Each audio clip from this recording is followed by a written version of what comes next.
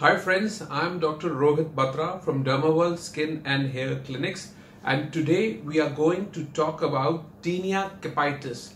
Tinea capitis or fungal infection of the scalp is a medical condition where dermatophytes, that's the fungus, affects the scalp.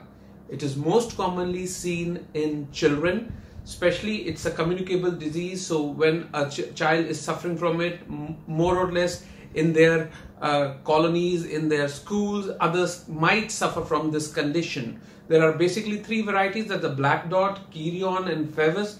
There might be a boggy swelling at the area and the child might lose hair from that affected area.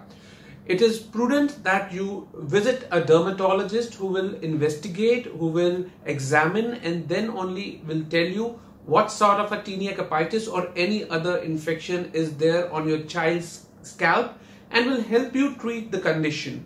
We have to give oral antifungals like griseofulvin or terbinafine along with topical solutions of antifungals con uh, containing an azole and a shampoo based uh, ketoconazole shampoo based uh, uh, thing is also prescribed.